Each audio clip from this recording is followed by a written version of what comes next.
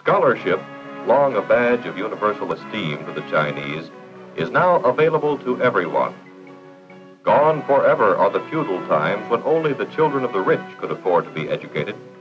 Today, with free tuition, modernized teaching methods, and such added incentives as field trips and audiovisual aids, more than 95% of Taiwan's younger generation attend schools. Boys and girls in school uniforms love to visit historical landmarks, such as the museum, which houses relics of General Koxinga's reign. But, even as in America, the increase in students has raced far ahead of school building construction. In fulfilling the eager search for knowledge, classrooms operate on a three shift a day basis. Schools open at 7 o'clock in the morning and close at 8 in the evening. As a result, not only basic literacy, but higher education as well is becoming a way of life to the Taiwanese. Even remote farm families have children away at a college or university.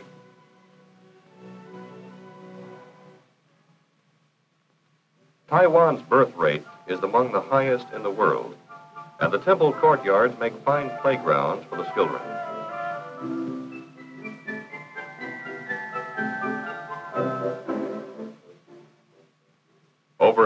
Frowns and savage grimaces of legendary Chinese fairies and dragons to frighten away the evil spirits.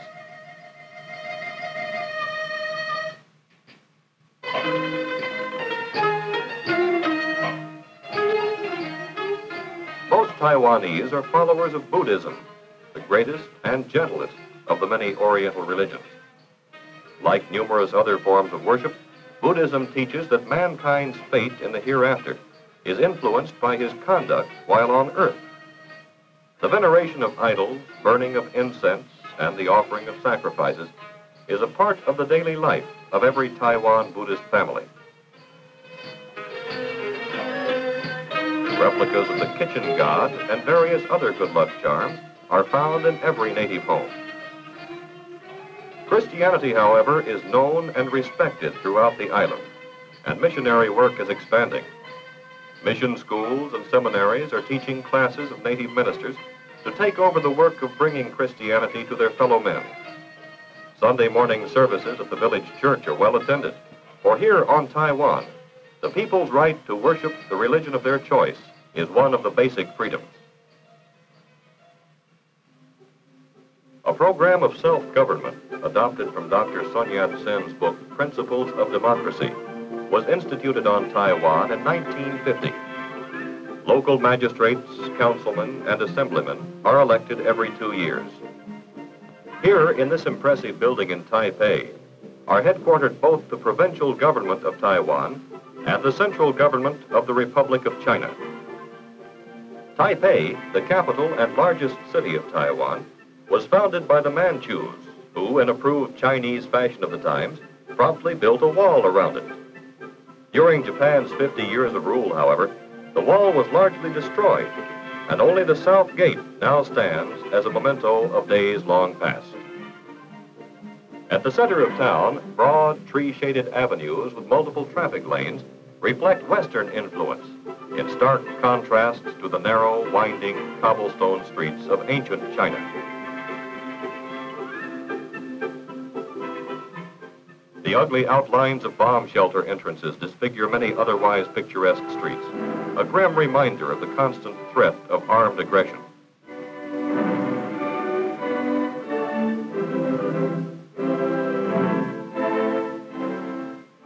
Motion pictures from the United States, Japan, and Hong Kong are shown throughout the island in more than 500 theaters. On the site of an abandoned Shinto shrine in Taipei stands the Grand Hotel, built by the Taiwan provincial government. Brilliantly lacquered columns and many tiered pagoda-style roofs, reminiscent of Peking's Forbidden City, surround the Golden Dragon Wing. Here, the visiting dignitary or diplomat may enjoy all the comforts of home, wherever his home might be, including a gourmet's choice of fine Oriental and Western foods. Kipling once wrote, Never the twain shall meet. But here on Taiwan, the traditions and customs of West and East blend into a harmonious and tranquil way of life.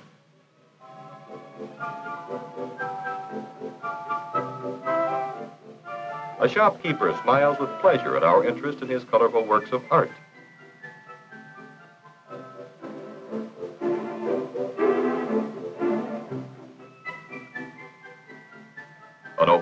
Restaurant.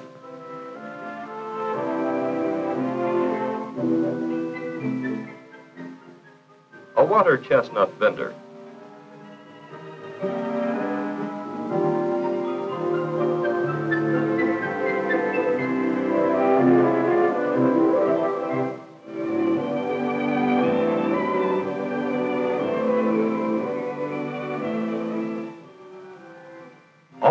The atmosphere and enchantment of ancient China.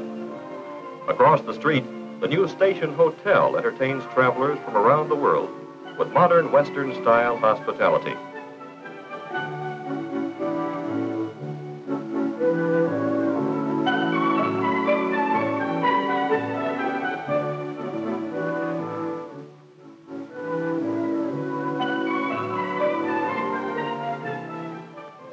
On a teeming side street, a candy man shapes a sweetened almond paste into picturesque little birds and animals.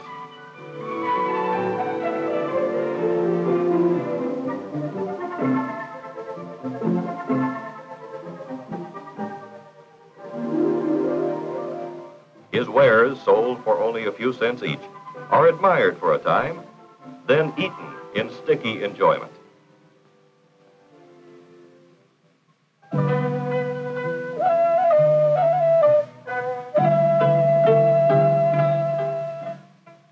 Plaintive sounds of drum and flute clear the thronging streets. Led by a juggler, musicians, and many scrolls of tribute and elaborate flower pieces, a funeral procession passes by.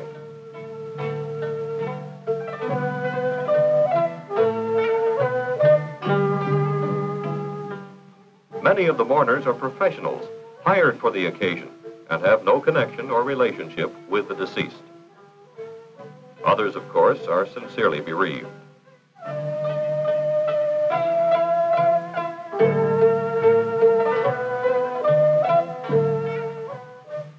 With features hidden by a sackcloth covering, the chief mourners hold on to a length of muslin to avoid going astray, for the procession must wind through many miles of city streets and country roads on the way to the gravesite.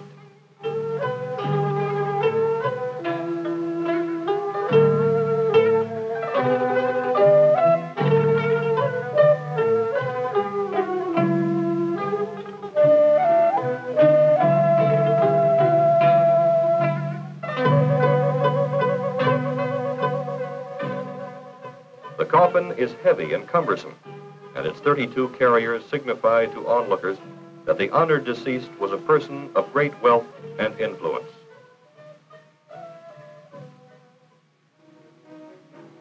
Public transportation is plentiful and cheap on Taiwan. A network of highways, railroads, and civil airlines offers fast and reliable service to all parts of the island. The Taiwan Provincial Railway operates 675 trains, carrying a daily total of some 300,000 passengers and 50,000 tons of freight. To handle the constantly increasing flow of traffic, the provincial government is rebuilding roadbeds, highways, and bridges, and improving equipment and station facilities. Demand for bus travel has increased tenfold in the last decade as construction of new roads brings national parks and recreation areas within easy reach of a travel-hungry public.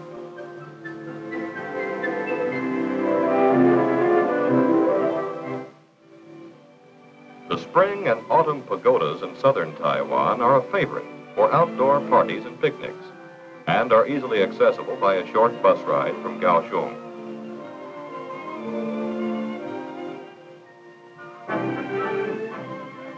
During the last two years, the 120-mile east-west highway has been completed, joining the China Sea to the Pacific Ocean.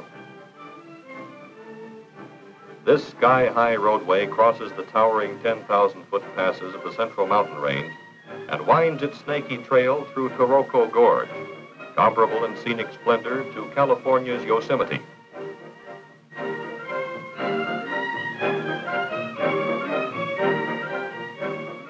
5,000 Chinese and Taiwanese laborers, working only with hand tools and an insurmountable will, carved 35 tunnels through the hard granite mountainsides. Five modern bridges span the cavernous valleys and ravines.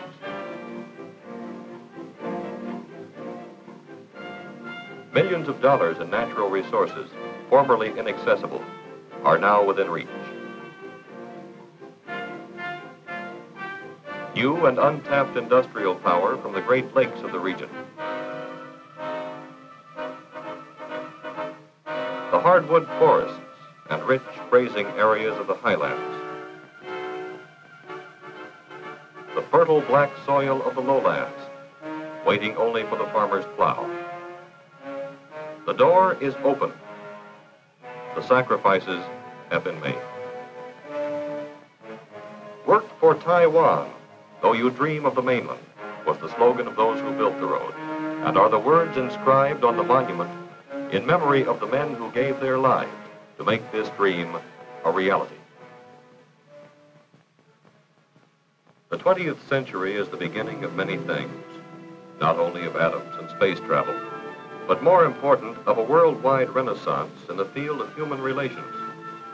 Here on this island, Americans have the opportunity and the privilege to participate in the most noble of all mankind's endeavors, to provide leadership and assistance to a young nation struggling toward self-sufficiency in a free world.